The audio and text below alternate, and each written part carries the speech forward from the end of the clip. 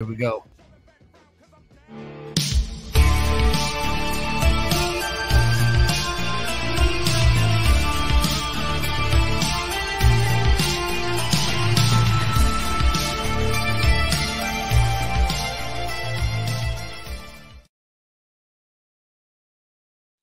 Whoa, hey, where's my face at?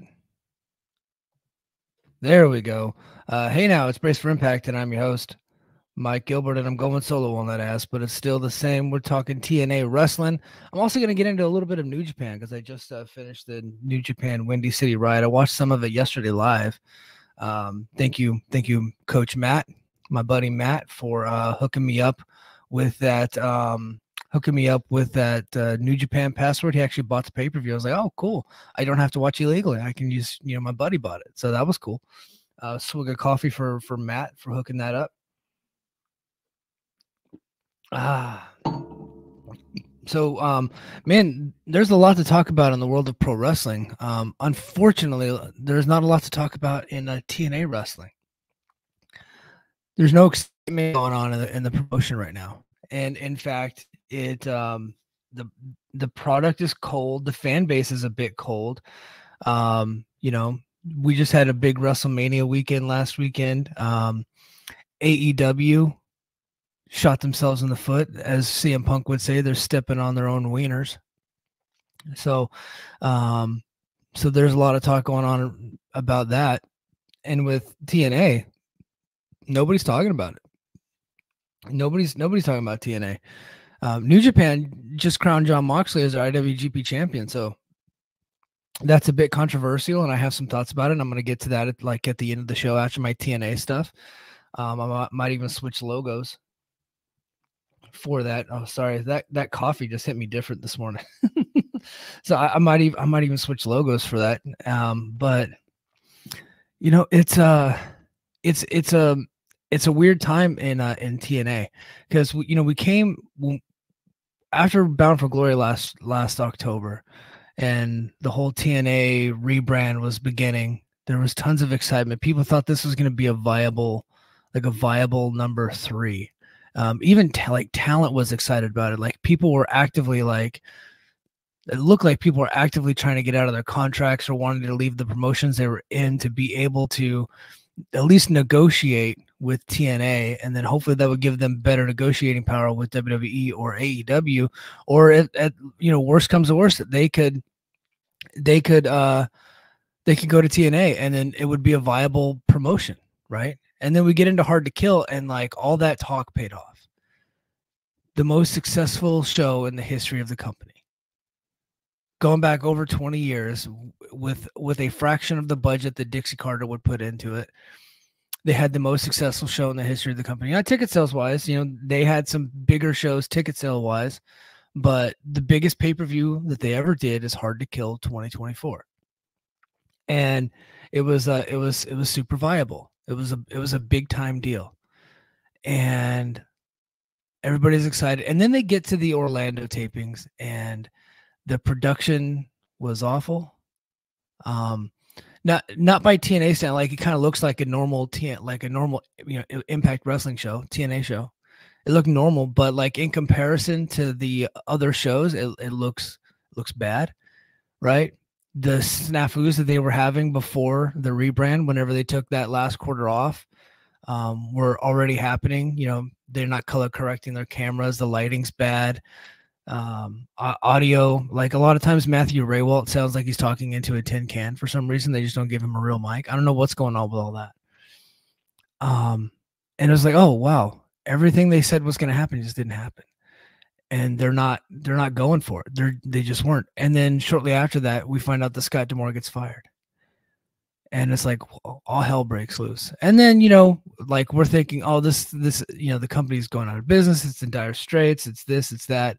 And of course that just that turned out not to be the case. Um and then all of a sudden we get we get word that you know josh alexander gets his option renewed and he didn't want his option renewed. And now he's you know baby facing the whole thing. But at the time it was pretty controversial. Steve maclin's contract's coming up. Um, he went on a winning streak in philadelphia so who knows how that's going to play out. But as of right now he's not um, he's not on the rebellion pay-per-view. Um, so that so you know that's uh that's crazy. Mo- Motor City Machine Guns are out. They finished up in the Philly tapings, um, and so people were getting upset about that. All this chaos surrounding it is not leading to any ratings. They're hardly ever in the top 150. I think they were recently, um, but even when they are, it's like sub 100,000 viewers, um, which is worse than what they were doing for some of their fourth quarter shows last year, right? Impact Wrestling.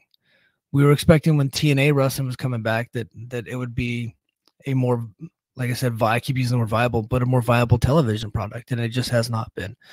Um, it just, it really just hasn't been. And you know, now we're heading into rebellion, and there's no excitement. There isn't, and um, and, and why is that? Well, look, you know, this week we're gonna have Motor City Machine Guns versus the System coming up for the tag team titles. We already know the winner of that because we know the Motor City Machine Guns are out. But they have a stipulation that if Motor City Machine Guns win, then they get to go to, into Rebellion to face Speedball Mountain, right? But we already know the winner of that because we already know that the Motor City Machine Guns are gone. They're done. And so there's no excitement about the tag team title match because, you know, it's like, okay, the guns are out and who really cares about the system versus Speedball Mountain? I, I, I don't like nobody's getting excited about that.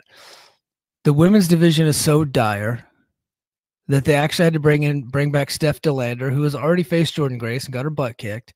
It was a quick match; it wasn't anything special. Jordan beat her, um, but now they're they're bringing her in, and she's automatically getting a title shot, despite the fact that she's maybe won one or two matches in the promotion, and now she's getting a title shot on pay per view, and probably a co-main spot. Um, although I would argue that probably Hammerstone versus Josh Alexander should be the should be the co-main because this knockouts title match, even they did a contract signing this week, and it's like, why are we doing a contract signing for this? Like, it's not like this is like a, a dream match or a match that's been promoted for months or you know, you know what I mean? Like that's not promoted, but, that's been building up for a long time. Like she came in, she won a gimmick match. Um, she came in off the street, won a gimmick match and now now is heading into rebellion as the number one contender, right? Um, the knockouts division is almost dead, but I we do have some good news coming up um, here, and I'm going to talk about that in a little bit. But um, so we're heading into rebellion. There's no excitement. The product is cold, and they went back to Las Vegas uh, three months after they had their most attended show since the Dixie Carter era, right? And they're they're not selling tickets. Um, I'll go. I'll go. So my friend uh, Dobby the Brain Heenan actually did the count yesterday. They're at 520. They're at 520.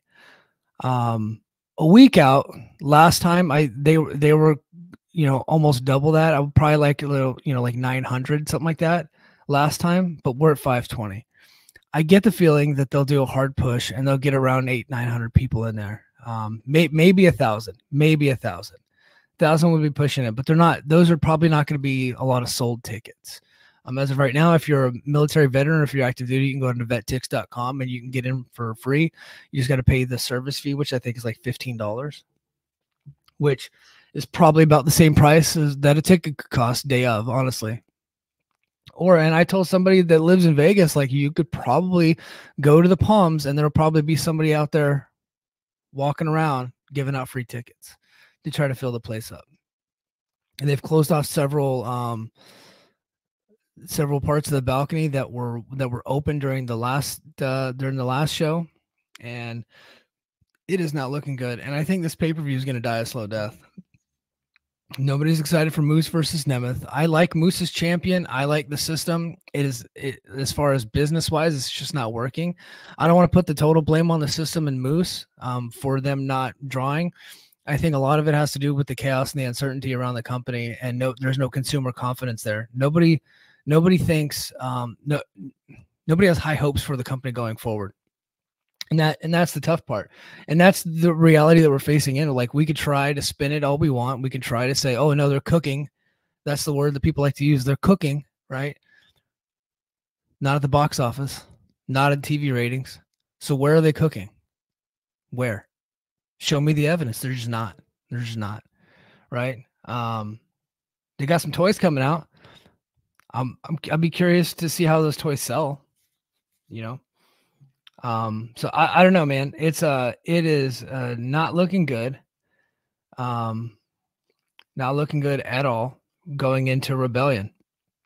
So I hate to come in and piss in everybody's Cheerios, um, but that's just that that that's just that's just the way it is. So, um, the only thing that I'm really excited about for Rebellion is uh, Alexander Hammerstone versus Josh Alexander, the third match, because I think that there are, um, I think that there are, that this is probably the best built feud that they've done in a long time. I think they're building up Hammerstone as a legit like heel monster. He's very coming across very much like early like late 80s early 90s Lex Luger to me and that's probably because you know the the guys who are booking are from that era. You know like Tommy Dreamer. Like that's kind of what they like and so they're building him like he's Lex Luger and I'm like okay, look, fuck it. Do it. Like do Lex Luger but do a twist to it and that's what they're doing. Hammerstone. Um, he's using the torture rack um, unfortunately for him, so is Will Hobbs now, and Lex Luger is acknowledging Will Hobbs using it, but he has not acknowledged Hammerstone using it because he probably doesn't know who the fuck Hammerstone is, and he probably doesn't know how to watch TNA. so, um, yeah, that that's that's just the way it is. So, yeah, the only thing that I'm really looking forward to at, Rebellion is uh, Hammerstone versus Josh Alexander. I think I think Mustafa Ali versus Jake something is going to be like a good match. But I think we already know the outcome to that because um, you know Mustafa Ali is sticking around for a while. He's already and he's being heavily advertised for the uh, the Against All Odds show in uh, Cicero. So um, yeah, that all, all of the, all of that is tough. It's not looking good for TNA. Um, the excite there's no excitement around the company uh, unless you're like a super hardcore, like if you're like Yellowbone, who is uh, taking it upon himself to be like a con supporter on Twitter right? It's like, man, you're really you're really digging deep there to try to promote this company.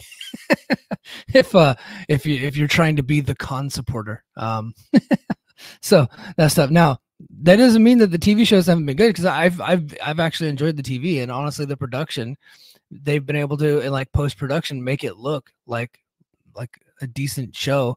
Audio still stinks. The the the lighting in the crowd, you can't see anybody. It looks like they're just all hanging out in an abyss, right? And then you they zoom in on the same 10 faces every week. So, you know, there there's those issues, but I, I felt like it's looked a little bit better the last couple weeks. Um, but um again, look, you know, I I I have not gone hard like this in a in a little bit, but the situation uh doesn't doesn't look good. Um, uh, and we're gonna we're gonna get into the uh, episode here and uh here in a little bit. Um, but uh, the first thing I wanted to talk about was uh, the big news. I think it's probably the top story that uh, Miyu Yamashita um, is coming into TNA. She's going to be there at the uh, tapings after Rebellion, and I personally am excited about this um, because I remember when she had come in before, and um, she did a really good job. Like she, I, she's a really good wrestler. She's Joshi trained. Um, and, and all of that, and that's that's awesome. Nobody knows who Miyu Yamashita is. except for except for uh except for me and a couple of my friends right? Like me and scott e. Wrestling. I don't watch she's from tokyo joshi pro so she's not even from stardom. Um she's from tokyo joshi pro. She does a lot um she does a lot of stuff on the indie scene here in the states and uh, she always does a really good job and um, she's kind of a little bit popular on the indies, but she's not like a needle mover. Like you know, they they announced that Jordan is going to take on Miyu Yamashita at the, the the TV tapings, which kind of tells you exactly who's going to win the title or who's going to win the match at Rebellion. Like we already know now, right? Now they could switch it. Um, and honestly, they probably need to get the belt off of Jordan because they have no viable contenders for her. So they got to build somebody, right? They got to build somebody. Um, and Steph De Landers might not be that person because she's again she's a per date person, and she might only be in for Vegas.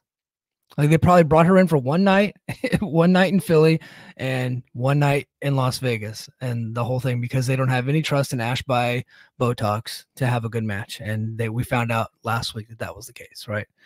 So but uh, yeah, so they're bringing in Miyu Yamashita. Um, I think this is um this is awesome. But Miyu is only in the states, and she's actually going to be in the states until June, and then she goes back to Japan.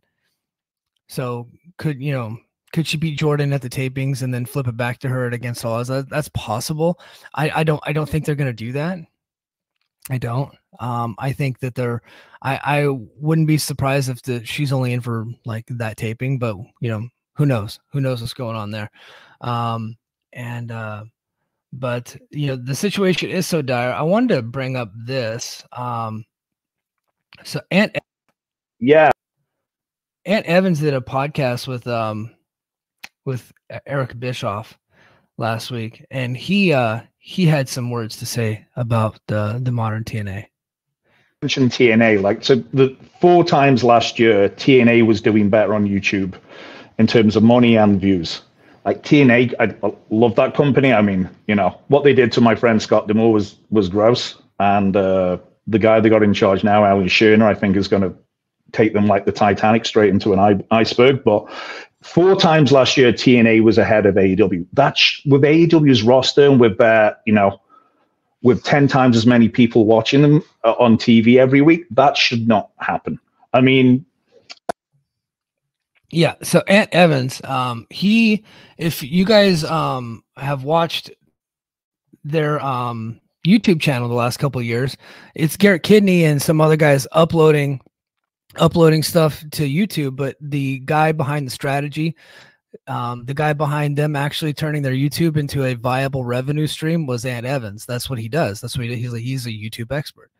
Um, and uh, hold on, Lucha Doncic said that sounded uh, that sounded ten percent personal. So yeah, obviously he friends with Scott D'Amore, so you got to take that into account. But I, I think I don't think that we can completely discredit his opinion um, because he worked closely with TNA for a long for a couple of years. Um, and with Anthem, he was the guy that brokered the deal to for Anthem to be able to buy Invicta. Um, that was that was him, and uh, Invicta has a presence on YouTube because of Ant, and so um, he he is the reason why the YouTube is a major revenue stream. And the purpose of that podcast was um, to a talk about AEW missing on their YouTube stream. He said that AEW is probably making two to three million a year when they should be making eight based off of based off of their popularity. Um, and he said that uh, TNA is is like a seven figure is a seven figure uh, venture right now with their YouTube stream and that it's growing exponentially and they're actually in a lot of cases doing better than AEW despite the fact that AEW has like 10 times the viewership and they're like 10 times as popular right? So um so a I wanted to talk about that because I think that um they could be even doing even more with their YouTube. And um but first he he said it straight up. This guy Ariel Shnerer who who Ant clearly worked with at Anthem um he thinks that he's gonna he's gonna tank the company and um, so far not looking good not looking good. We'll see we'll see what rebellion ends up looking like. We'll see what rebellion as far as a you know not only ticket sales but pay-per-view buys looks like and we'll see about what these um what these live events coming up end up looking like but like not looking good right now right? Um you know not looking good. But um let's get back to what he's saying about the youtube. I think it's it's uh, and I and I actually like me and him had like a little bit of a back and forth on some of this stuff. I think I think it's time for Impact to go back to what they were doing with Twitch, right, where they were on Access and Twitch at the same time. Okay, um, but I think they need to be on uh, on Access and YouTube at the same time, but on YouTube for free. I really do. I, I don't think that anybody's not going to not sub to their Ultimate Insider because of because of losing access to the show. I think like me personally, I I'm a YouTube Ultimate Insider because for a couple of reasons. A, um, I don't like the ads, right? I don't like ads, and I can get the show ad free. I just got to wait a little bit, you know, 30 minutes longer, and I can get the show without any commercial breaks, right? And uh, not only that, I get the um, not only that, I, I I get the monthly shows, and that and that's really what you're paying for. I don't think they need to have the the membership tier where they only where you only get the TV show. Just get rid of that and have the monthly have the tier with the monthly show, um, and then give away the show for free. Um, and then you can still have the ad free version on their Ultimate Insider. I think that's the way to go. And then, but then you start the show right at eight, right at the same time as Access. That way, everybody's having the same conversation at the same time. And you know, during commercial breaks that that are on uh, Access, you can just put fucking movie trailers, right? or or ads for Invicta, or you know, because you know, and whatever ads you can find, like Blue Chew, like whatever, like whatever low level stuff you can do, you just fill the commercial time with that stuff, right? I think I think that's the way to go because I don't think they're going to be they're going to do a good job of getting people to spend money. Um, but you can grow the popularity of the show right now. I think more people would be more willing to give TNA a shot if it were free. And that and that like people are not going to want to pay for it, and nobody nobody has the channel, right? Nobody has the channel, so I I think I think they can I think they could do that. Um, and um and Lucha says TNA plus two. Yeah, they they could put the same feed on TNA plus that you would put on YouTube. Um, do it there, load it up with ads. Um, but as Ant was saying, and um, Gerard Gerard is saying this, um, so now I suggested that uh, suggested TNA Plus. He said that they're thinking an app can do more than the streamer, than the number two streamer in the world. So it's not the number two streamer; it's the number two search engine in the world. YouTube is the number two search engine in the world, right? And they do a very good job of leveraging their YouTube popularity and turning that into a viable business. Um, and they could be doing more. They could be doing better. I think it's I think it's been long enough time. Look, I think they had a show like a week or two ago that was in the top 50 and it was like 85,000 views. 80 or 85,000 viewers. So it was something ridiculous like that. And then Ant told me, he said, whenever TNA is not on, Access only averages about 6,000 viewers at a time for like for shows, right? That's ridiculous. And they're not doing anything to improve that. Now they've got bare knuckle boxing coming up and they might get some, but bare knuckle boxing is not that popular it, it, it's not. They're not doing like good business there. That that um you know Triller Triller TV owns that. That Triller TV is like a Ponzi scheme. it's like so the guys that own Triller they bought FITE um, and they have all this hedge fund money coming in. Um, eventually that whole thing's gonna blow up. Right? And then they ended up buying BKFC, bare knuckle boxing, and now they have a deal with uh, Fight Network and with Access and um, it might do some viewers, but it's not, it, you know, it's not going to do anything crazy. Um, and then earlier this week, Access, you know, they put Carnie Wilson, Carnie Wilson, guys, from Wilson Phillips, who had one hit back in like 1990. Hold on with Wilson Phillips. Carnie Wilson, she is the daughter of Brian Wilson from the Beach Boys. Don't ask me how I know all this stuff. I just know. Okay. And she has a show where she's going to eat food and that was like that's like their big thing coming up. They're also going to do like a, a heavy metal type show. You know, we thought there was going to be a lot of crossover with TNA, um, TNA going forward. Well, they are bringing in a wrestler to do a show on Access talking about heavy metal. She just happens to be with NWA. It's the Mariah lady, Jugs O'Plenty, BQ's favorite wrestler over on NWA. She's coming over, not to TNA, but to Access. So, you know, they didn't want to give that spot to Rosemary or somebody or somebody on uh, TNA. They they gave it to Mariah or what what's her name? Got Maya Gomez something. I can't remember her name, but um, she's on NWA.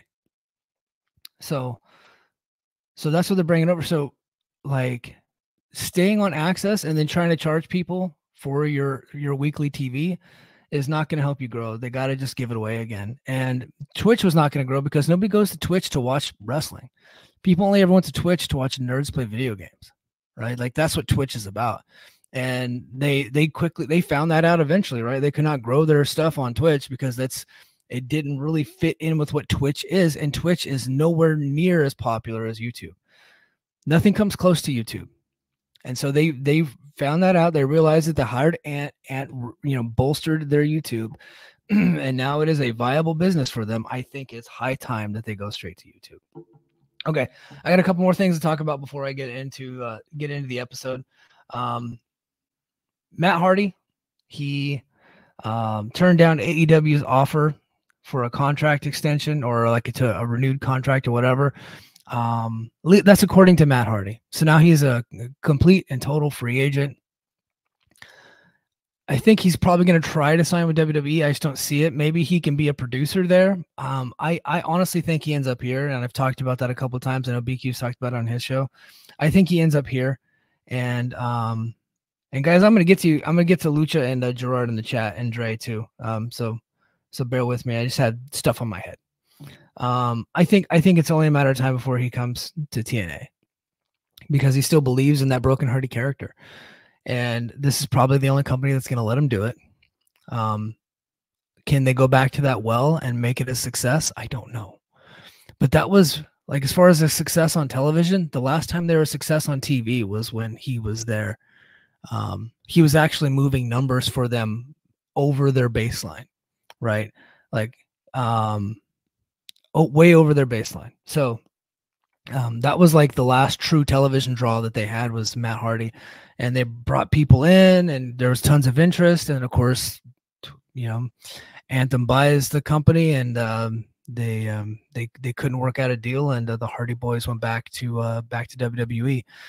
Um, and the rest they say is history. There was a lot of heat there, but I know the heat has been squashed. In fact, Matt Hardy, whenever there was a partnership between AEW and TNA, um, Matt Hardy actually came back to TNA for an episode with a or two episodes, of Private Party. Private Party, right? Matt Hardy was their manager, brought him in, and Private Party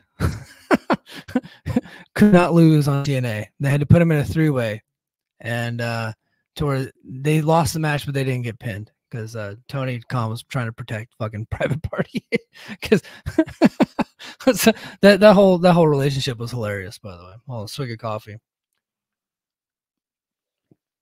Um, so yeah, so yeah, uh, Matt Matt Hardy, I think uh, definitely definitely is coming. Um, Natalya and Jordan Grace continue to tease having a match together. Um, this is in light of Nick Khan discussing his interest in working with other companies and reports of TNA and WWE having a meeting over WrestleMania weekend. Um, I I don't know if it's going to happen. Uh, I doubt that it's going to happen, but I don't think it's out of the realm of possibility. Like you know, we're in a weird time in pro wrestling right now with WWE as the leader and them seemingly wanting to work with other promotions, which is not something that they've done in a very, very long time. You know, Jordan Grace went to the Royal Rumble um, and did very well there. Or Mickie James went to the Royal Rumble a couple of years ago. Um, they have sent talent to All Japan. They sent um, and the same guy Charlie uh, Dempsey, I think. Yeah, Charlie Dempsey. They sent Charlie Dempsey and Shayna Baszler over to Bloodsport and Nick Khan was in attendance. So um, these things can happen, and TNA is no threat, right? So I don't think that um, you know it's the craziest idea. Um, and if they were to do something, my prediction would be it would be Natalya versus Jordan Grace. Um, but where would they do it and how would that would work out? I, I that I don't know. So, um, but they keep teasing it. Natalya's going to be a free agent here pretty soon, um, or at least she's like her contract expires here pretty soon. So I don't know if it's um I don't know if they're going to resign her or not. I assume they will. You know, she's kind of a lifer there. But maybe she'll become a free agent. Maybe she'll work some dates in TNA. I don't think AX or AEW would actually pick them up, and I don't think TNA would have the money to sign her. But if they wanted to bring her in for a couple of dates to do a to kind of do a big match with Jordan, I I, I could see it. Um, I, I I don't I don't think that's the craziest thing. Um, but yeah, they keep teasing the match, so I I guess anything anything is possible. Um, all right, let's get to the chat here. Um, Lucha says, uh, "Give me power slap on access," uh, and then um, Gerard says, "Anthem couldn't afford uh, Anthem couldn't afford Dana." So power slap is over on Rumble, and uh, they're getting pretty good money there. But I could see because um, so bare knuckle boxing is they're not getting like the live, like first run episodes of bare knuckle. They're getting like reruns, right? So could they get reruns of power slap? Probably, probably. I, I, don't I don't like I don't think I don't you know it doesn't work on TV like they they crashed and burned when they were on a major channel. So um I don't uh I don't I don't think that uh I don't think that's gonna happen, but I don't I don't see it like not happening. You know, like I'm not gonna like, oh, that will never happen. I don't I don't, I don't see why that couldn't happen. Um, what would it help to would it help access? Probably not. Probably like I, I don't I think access is at a point now where I just don't think that there's anything they could do to to to grow that brand. And we and we've been having this discussions like they've been saying for 5 years that they're going to grow, they're going to grow, they're going to grow and they've only ever done the opposite, right? Like, and now they're not even on Verizon FiOS in a lot of areas. I know they they up their stock on Xfinity in a couple of areas where they're, they're now like on the same tier as like TNT and TBS, but that's only in a couple of areas. So um, they took some steps back by getting off of Verizon, and they took a, like a step forward within some markets, um, stepping up on uh, on Xfinity. But yeah, uh, I I don't I don't know. Um, I, I, I just I don't know. I'm not looking good, guys. I don't, I don't want to be completely too dire, um, but I, I think that's just the way the that's just the way it, has gone. It says uh, the YouTube insiders would still be in behind the episode and because ad free. Yeah, absolutely, um, Gerard. And so Lucha asking about Ant said, uh, "Is he no longer with the company? No, he would not be bearing the company the way he did if he was still with it." And Jordan says, I think he's an independent contractor or something, currently help Bischoff and Conrad maximize our YouTube channels. So, so um, ad free shows, that whole network, um, the YouTube thing, he's redoing the whole thing. And um, specifically with Bischoff, like Bischoff, to where like he's doing live episodes every week on YouTube now, and more than that, more than more than one a week, and to where he actually he essentially fired Jon Alba from their show and he's doing solo shows right now and he's doing them on YouTube and I think the audio probably goes to their Patreon um, but he gets to do it on um, on YouTube, and they're doing they're like, I'll be honest, like, I don't want to say anything nice about Bischoff, but like his YouTube is fucking blowing up, and it's because of Ant, right? The guy knows what he's doing. So whenever he talks about YouTube, I pay attention. So because I'm like now now that I'm getting ads on YouTube, I'm in the YouTube business. so um, I'm, I'm going to pay attention to stuff like that. All right. Um, yeah, I don't think I had any other news. Yeah, there's not really, like I said, there's not really much going on in uh, the world of TNA. So let's get to, let's get to the, t- let's get to the episode. So, um, this episode was built around Monsters Ball featuring PCO and Kon. So if you wonder why I'm a little bit down on TNA, I think you have, I think you have your answer because I and I didn't feel like this was a bad episode. And honestly, that match at some point it does pick up a little bit, but like not not good. Like they're actively putting out something that they know is bad, putting it in the main event because they don't fucking care what you think. but they have Yellowbone saying Kon is good, so they're like, okay, look here, this guy, this one person likes it, so here we will put it there. So, okay. All right, let's get into the uh let's go ahead and get into the show. Impact Open with Hammerstone and Josh Alexander beating the hell out of each other. So this is a great way to start the episode with my two favorite guys in the company. Um, well, and Steve Maclin. I don't want to leave out Steve, but um, they open with Hammerstone and Alexander beating the hell out of each other, and uh, with Alexander being busted open as security attempted to intervene, but weren't very successful. Tommy Dreamer made his way to ringside to calm Alexander down, tell him to get out of there. And then Dreamer gets his fat ass into the ring, cuts a shitty promo um, doing the Gettysburg Address again, um, like the super impassioned, like nobody cares about what you're saying promo to Hammerstone. Said that they were in front of the best fans in the world, and uh, Hammerstone was in TNA Wrestling because of him. Dreamer told Hammerstone that there was too much going on uh, tonight for them to be brawling before Rebellion. Uh, Dreamer told Hammerstone to head to the back, but as Tommy was heading out of the ring, Hammerstone uh, hit him from behind and put him up in the torture rack in what, what I would call the greatest feat of strength in the history of wrestling. Um, never seen anything like it. This is right up there with like Mark Henry lifting a vehicle. So, but yeah, he got uh, Tommy Dreamer or Tummy Dreamer, as Lucha Doncic would say. Tummy, you got Tummy up in the torture rack. Um, and uh, I love the torture rack. I think I think Hammerstone needs to start using the burning hammer though, so you can get him up in the torture rack and then just fucking do the flip thing, the reverse, you know, um, Kenta Kobashi burning hammer. I think they should go with it. I think that would cool. And his name's Hammerstone. So why wouldn't you use the burning hammer as your finish? He also has the nightmare pendulum, but I think like torture rack and burning hammer combo would be good. Uh, I think that would be perfect. Okay. And then the show kind of falls off a cliff here. Um, we got Crazy Steve. Crazy Steve defeated Laredo Kid by disqualification and retained the digital media title. So Laredo Kid hasn't won a goddamn match, but he does an interview with Tom Hannifan.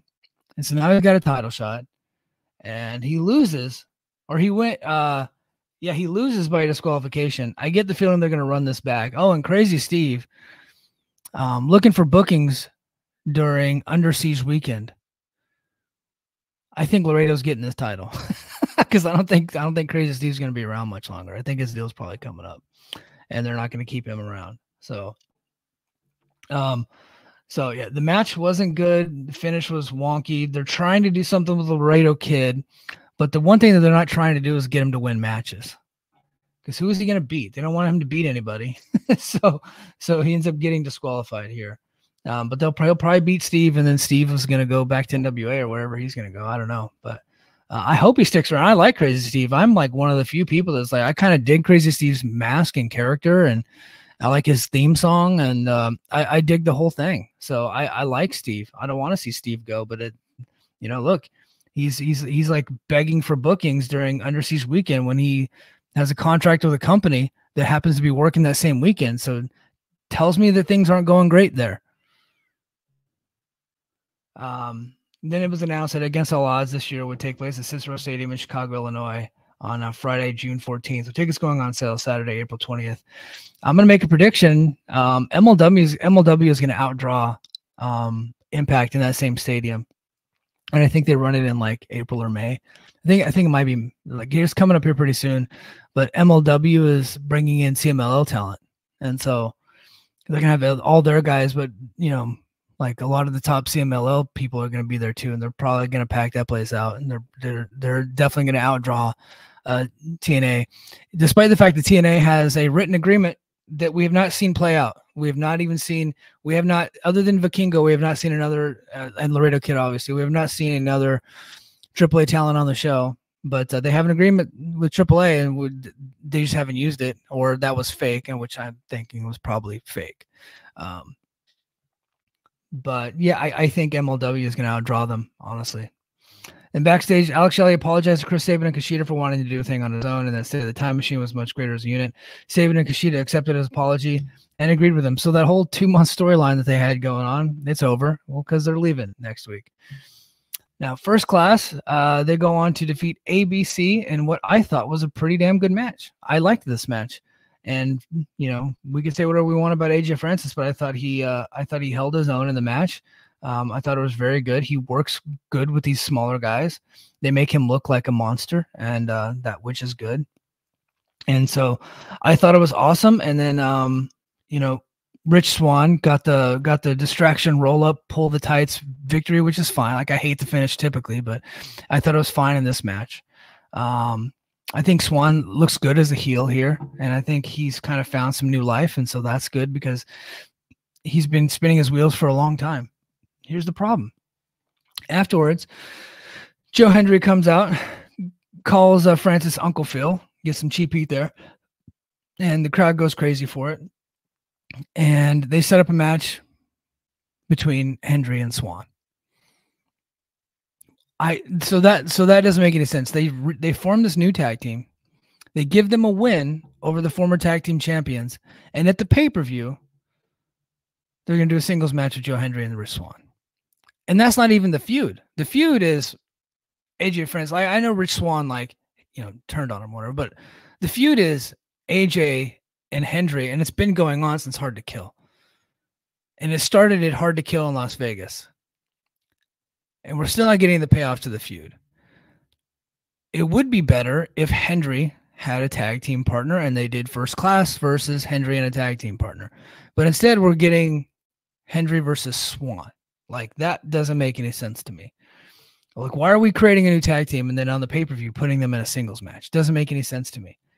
Um, it's like right hand, left hand. They don't know what they're doing. Um, backstage, Santino Marella was met by Ash by Elegance and uh, and George Iceman. They say that Ash was ready for a knockout title match of Rebellion, but instead of agreeing to make it happen, uh, Marella left him hanging. So they said, "Hey, look, their replacement won the match, so she should get the title shot." Um, I don't know, man. I don't know about that. Backstage, Ali was with the Grizzly Young Vets, and Ali vented that his match at Rebellion should not be taking place before Jake something interrupted and stated that the match was indeed going to take place. And then Jordynne Grace and Steph De Lander have their contract signing. Um, this was okay. I don't really like contract signings that are too played out, and I didn't really feel like it was necessary here. But I guess uh, you know you do got to build Steph De Lander because nobody gives a fuck about her. You know, she's not been on TV. She's never won any matches on TV. um, except for the one. Um, so I think she won a match in Australia. So and nobody cares about her, so I had to bring in Matt Cardona to like kind of give her some heat. But I thought that uh, Jordynne Grace had a good line here. Um, Grace put over her own accomplishments before uh, Cardona took offense to Jordynne's claim about digital media title. De Lander then stated that they didn't have enough time to talk about her, all of her accomplishments, but Grace countered by stating that she's beaten her before, beaten her boyfriend before, and then beaten her boyfriend's wife before. And I thought that was a pretty good line. Um, and then um, as Cardona was going nuts and the fans were chanting um, the B word, Grace finally signed the contract. Grace and De Lander shook hands, but as the aggression was high, a brawl ensued naturally. And after Marella was knocked down and out, De Lander put Grace through a table before posing with the title. And of course, Matt Cardona was like attacking Grace too. Um, so I, I, think it was okay. I, I don't think it's going to do anything to get anybody interested in the match. Um, I really don't. But you know, I, I could be wrong. Um, Backstage, Masha Slamovich was interrupted by the system, and Eddie Edwards stated that her and Alicia could make a great tag team. Slamovich then gave them an answer in Russian and left. I hope that her tag team partner ends up being Miyu Yamashita. I think that would be a viable team, but yeah. Then a video. Oh, this was good. A video promo aired focusing on Jonathan Gresham in a boardroom full of people, um, reflecting on the on uh, the masks he wears in life. So talking about his personal mask, his mask to the ring, and all of that. Um, I don't know where this is going, but hopefully we get there soon. Um, you know, they they have a uphill battle to make um, Jonathan Gresham interesting again. You know, because when he came back, he there was nothing interesting about him. I was like, hey, this guy's a really good wrestler okay, like a lot of people are. So where's the money? So hopefully we're we're getting we're getting somewhere. Um, and then we get to the next match. Moose beat the shit out of Trent Seven. I like that. I don't think Trent Seven should be winning matches in this company. So and Moose just beat the shit out of him. Trent Seven is one of the most physically unimpressive wrestlers I've ever seen. He looks like if uh if we are in like mid Atlantic in 1980s, he would definitely be standing in the ring you know, waiting for Ole Anderson to come down and beat the fuck out of him. So got some charisma though. Um, after the match, the system entered the ring and looking to do more damage, but Mike Bailey uh, entered the ring as well.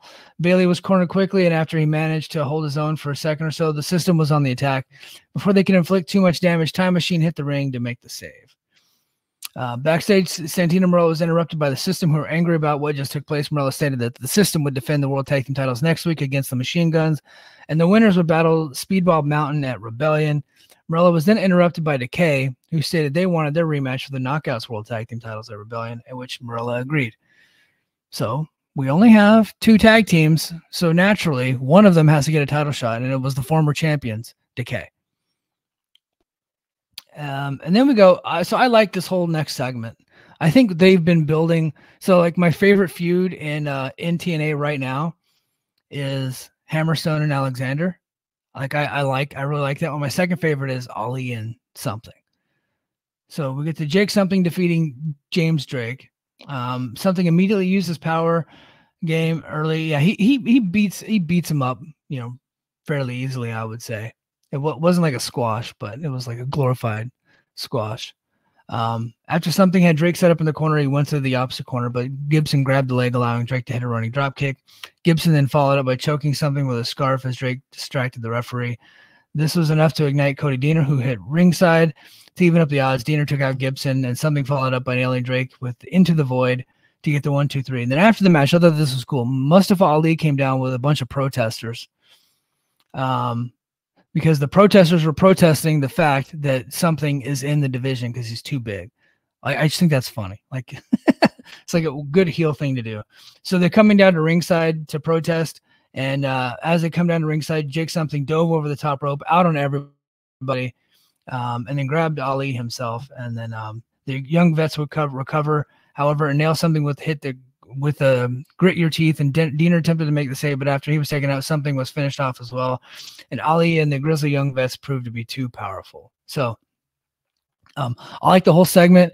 Um, they're they're doing a good job of making Jake something look like a monster and a viable contender to Ali. I think Ali keeps the title, but I think the match is gonna be very good. And then we get to the main event, and uh, I don't know what they're thinking, man. I so I'm going to start with the positives. There's two positives. After a while of being dreadful, I I did feel like towards the end the match had picked up just because they were like hurting each other, right? Um, these these two guys they don't they're not very mobile. They you know, but um, Kon um did some dangerous stuff, and then uh, so and obviously PCO did a bunch of dangerous stuff, and then you know they did the thumbtacks, that whole gimmick, and they you know falling on the apron and killing themselves. So they did that like towards the end. I thought that was kind of like exciting. Um, but it just took a while to get to that point. Here's the ultimate positive. I, I think that Kon might be done because they did three matches and Kon lost three times. So, um, because I think they did the match at um, no, I think they only did two matches. Yeah, because they no, they did they did one match where it was um, he where Kon got disqualified, and then they did another match and PCO beat him, and then this was the third, I think. I could be wrong, but I think yeah, they did three, and I think BQ brought this up in our Brace for Impact chat that they wrestled three times and Kon lost all three times. Well, Kon should not have been winning, so they did the DQ to get to the second one, and once they got to the second one, it should have been over at that point or they should have went straight to Monsters Ball. But what they did need to do was drag it out another month and then do a main event Monsters Ball between the guys because nobody ever had any interest in this to begin with. Ratings are down, ticket sales are fucking dead, and this is the shit that you guys put on your TV, and you wonder why you're in the state that you're in. That's just, like you get what you deserve at that point. You deserve to lose when you do that. So, but they did the match did pick up at the end. I do think Kon is gone. Um, so add him to the list of people that are out with this new regime. You know, Dango has was not in Philly. He hasn't been around in a while. Oleg uh, clearly gone. I think we're going to see a lot of those guys move to the uh, you know off the roster page here pretty soon, and maybe we'll get some new fresh blood. I talked about the tag team last week's uh, Saint and Sinner, or um, Jobber and Taint, is what BQ would call them. Um, I Mike Santana very clearly going to be at Rebellion. They should probably go ahead and announce that get some type of excitement. I don't think that you need to get the excitement pop for him. Just announce it. Announce that he will be there. Um, you don't need to work that thing because you got to get people in that building, right? And he might be able to get some people a little bit excited. Um, but he again, he's not a draw either. Um, and um, you know, and, and you know, if they got Matt Riddle, if they got Camille, they might want to just announce that. And if they're going to be there at Rebellion, they might they might want to just announce it and tell everybody. But um, that was it. That was it for um, for TNA. Um, so thank you guys. Thank you everybody in the chat for talking TNA with me. Now I'm gonna uh, close the show. In fact, I'm actually gonna switch my branding because I'm gonna try to clip this for YouTube. Um, let me see here. Switch the branding a little bit. Boom. So, um, I just before we went live this morning, I watched I finished watching New Japan's Windy City Riot, and um, I thought it was a very good show. They had like six over six thousand people there in the Wintrust Arena in Chicago. It was the biggest like um, stateside New Japan event that they've ever like promoted themselves.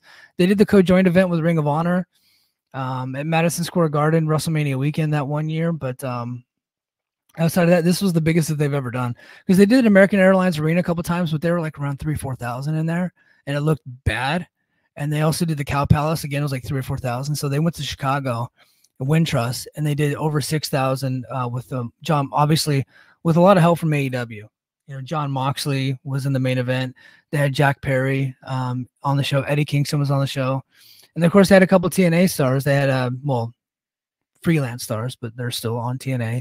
They had the X Division champion Mustafa Ali, and they also had um, um, Nick Nemeth on the show. So, um, it was a very good show. Like as far as like their New Japan stateside stuff, um, since um, they've created New Japan Strong, this was the best produced. Like the video quality was great, the audio quality was great. I wish they would have lit the arena because they had so many people, but they didn't light the arena, so it was very dark. It was so, but it was um, a better produced show than you will see on TNA by far, uh, or MLW or N- NWA. And honestly, from what I have seen the last couple years, they were typically worse, right? They they would use like the cheapest production equipment possible for these New Japan, New Japan of America shows, and they were always pretty like the shows like the wrestling was always very good, but they were just unwatchable. But you can tell they've actually put some money into this and they've hired a good crew and it looked very good. Um, and yeah, Walker Stewart and um, Chris Chris Charlton, and then they had Veda Scott. Veda Scott was not very good on this. Um, I, honestly, I thought she was pretty bad. Um, I, I I did not enjoy her commentary on this one, and I know that it's kind of mean to say that, but she just wasn't very good. I didn't think. I thought I thought she actually broke up the the the good vibe between Walker and Chris Charlton. Like she just kept interjecting herself, and I just didn't think she had anything to add. Um, and then I just don't think her voice was very good. I don't know if there's something going on with her voice, but I just, I mean, she actually sounds like what she normally sounds like, but it just didn't work for this. I just didn't, I just didn't think she was any good. So, um, you guys can cancel me for that if you want, but I just, sorry, she wasn't, she wasn't any good. So, but I thought the show was very good. Um, I, I, um, I watch, you know, I should probably pull up the, pull up the results, but I did get to watch a, a good bit of it and um, I was really impressed with how they did everything, and uh, obviously really impressed with the ticket sales they were able to do and the matches they were able to put together. Um, they did they did very good, but um, let's see. Let's go to the let's go to live results. I'm not going to do a full blow by blow, blow play by play, but I just want to pull up the live results just to just so I can remember because as you guys know, my memory is not very good. Uh, first match was uh, Matt Vandagriff defeating Zane Jay. I did not watch that, but I did watch Alex Windsor and Trish Adora defeat um, Mina Shirakawa and Viva Van. Um, I, I, thought I thought this was pretty good, and Windsor got the Windsor got the pin to Van to win the match. So, which you know pays off a little bit later, as we're about to get into. Then Ren Ren Narita defeated Minoru Suzuki. Man, Suzuki just cannot win to save his life. But look, he's he's coming up on 60 years old. So, but again, this was uh this was uh you know pretty good. Um, but they're they're trying to push Narita, and I I get it. Narita is one of his young that one of their young talent on the come up. So, um, and then we go to uh, New Japan Strong Women's Championship. Stephanie Vaquer uh, defeats Azumi AZM for you novices out there. Um, and I thought this was a very good match. Stephanie Vaquer could be a big star. So could Azumi, but Stephanie Vaquer um, could absolutely be a huge star in the states if she were to get picked up by one of the bigger companies, um, which I think is probably going to happen sooner rather than later. She's, I think she's CMLL. I'm pretty sure she's CMLL. But um, after the match, Alex Windsor, who got the pin earlier in the tag match, see booking, um, met Vaquer in the ring to challenge her for the strong title. Vaquer accepted and setting the match up for the next show in, uh, I believe, in May called Resurgence. So um, then we get to the New Japan Strong Openweight Tag Team Championship. Uh, TMDK of Mikey Nichols and Shane Haste defeated the, the of Destiny, which Tama Tonga is no longer in it, nor is uh, Tanga Loa. It was uh, El Phantasmo and Hikuleo. Um, uh, and Fred Rosser and uh, Tom Lawlor's a team, in the West Coast Wreck, Wrecking Crew of Jorel Nelson and Royce Isaacs. I'll be honest, I was not a big fan of this match. Um, I just wasn't, but TMDK holding the tag titles. Um, that's that's kind of cool. Um, you know, they, they were big in Noah before they signed with the WWE and they went to WWE and the career kind of died. You know, there was a lot of um a lot of injuries happened and uh, they the team broke up and then you know once they both got their releases, you know they they've been in New Japan and they haven't really done much.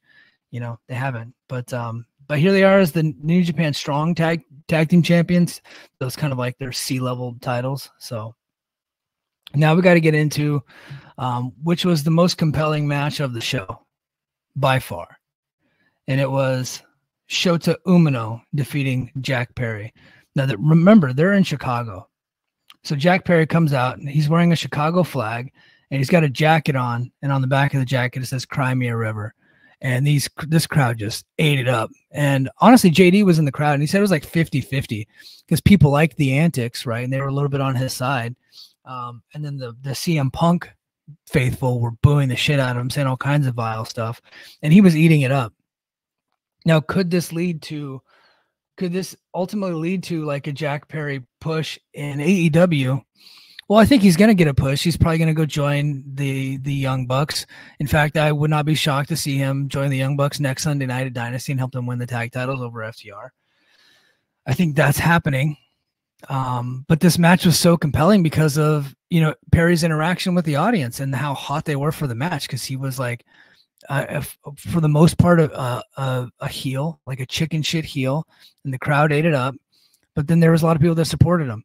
There was even a, a, uh, a they were singing the song "Oh, Cry Me a River," so that song was going on in the audience, and then there was a big chant of uh, "You got choked out," and then the other folks would counter with "No, he didn't," um, and he did not get choked out. He got his head squeezed for a couple seconds. So there was that. He ended up uh, uh, trying a go to sleep on him, and that got a ton of heat.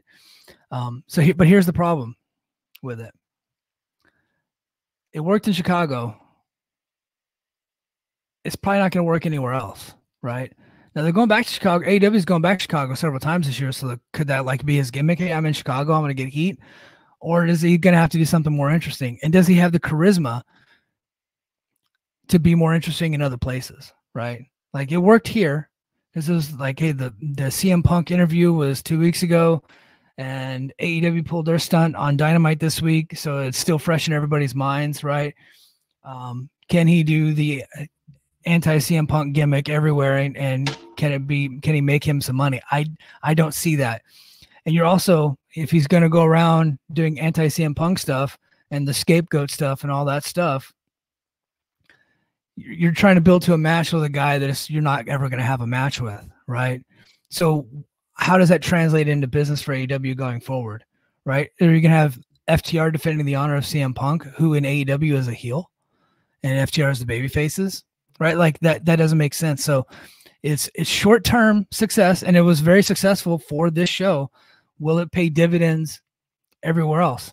They're about he's probably going to return to AEW in St. Louis St. Louis and Chicago are rival cities. I, you know, the Cardinals hate the Cubs. Cardinals fans hate Cubs fans. When he goes there, he might actually be a babyface, right?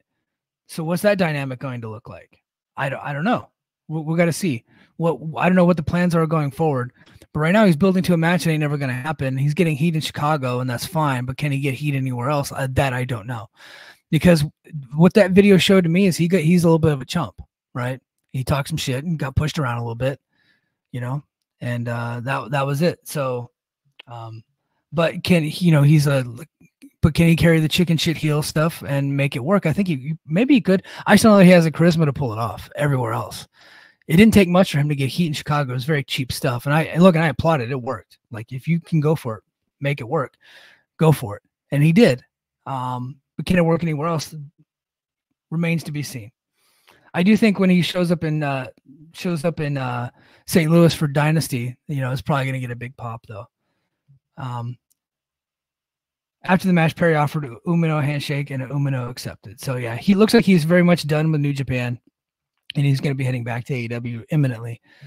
Then Mustafa Ali defeated Hiromu Takahashi. So X Division champion Mustafa Ali de- defeated Hiromu Takahashi I found this to be a very good match. Uh, Ali's super over in Chicago, which bodes well for against all odds coming up in Cicero Stadium. Um, that should be helpful for uh, for TNA to to draw there because uh, this crowd was all over. They're eating up Ali, and Ali was kind of playing the heel, but they were, you know, they were. It's his hometown, so they were cheering for him. Um, but a very very good match. Uh, Ali even bled a little bit, and then after the match, um, Takahashi had a, a new Daryl doll that was like of muscle. It was like a jacked up Daryl doll, and they shook hands. Yeah, oh, also after the match, as uh, Takahashi was leaving, Ali was holding his X Division title, and he looked at Takahashi and was pointing the X Division title, and Takahashi shook his head. I think that match is coming to TNA at some point. That is if TNA and New Japan are still working together. Because if you notice, ABC they have not been using the Bullet Club stuff for since the beginning of the year. Honestly, and um, I think they did it hard to kill, but I think like shortly after hard to kill, that was over, and um, they're actually about to break up. So they have not been using Bullet Club branding in a while, and they're about to break up the tag team. And we've seen Kevin Knight on uh, on TNA, but we have not seen any other New Japan stars in a while because she just signed with Impact or signed with TNA. So um, yeah, I don't, know, I don't know, I don't know if that relationship is still kind of, you know, as strong as it once was. Um, so w- we'll see, we'll see. You know, people will say, "Oh, well, Ali and Nemeth are on the show. Ali and Nemeth are freelancers." So, but it would be cool to see Takahashi on TNA. And then we go to uh, Gabe Kidd, Kenta, Clark Connors, and David Finlay. The Bullet Club uh, defeated Eddie Kingston, TJP, uh, Jeff Cobb and Homicide, Team Kingston. Uh, this is just a big, big fun brawl. Did all kinds of stuff, forks and all kinds of nonsense. Craziness ensued. Bull Club wrapped the chain around Kingston, setting up something for diabolical. Homicide tried to make the save, but Finlay cut him off with a shillelagh strike, and Kidd then hit Homicide with a pile driver to win the match. After the match, Kingston initiated another brawl. Both teams continued to fight for quite a while. So just chaos. Once teams are separated, Kingston challenged Kidd to a no ropes last man standing match for a resurgence. So they're keeping this feud alive. And then we go to one of the best matches of the night, surprisingly. Uh, New Japan World Television Championship. Zack Sabre Jr. defeats Matt Riddle, the champion. So Tanahashi beat Zack Sabre Jr., then Riddle beat Tanahashi, and Zack Sabre Jr. then beat Riddle. So they've been bouncing this title around a little bit. Um, there hasn't been much blowback to Riddle like being in New Japan, but a lot of the New Japan fans don't want him there. I would not be surprised if Riddle was gone, honestly. Just my gut. I, I could be completely wrong. He could be announced for a resurgence already, but um but uh, Riddle so and another reason is because Riddle lost, right? Um and it was a roll up victory. Um but it was a very good match. Like I loved this match. I thought this match was incredible.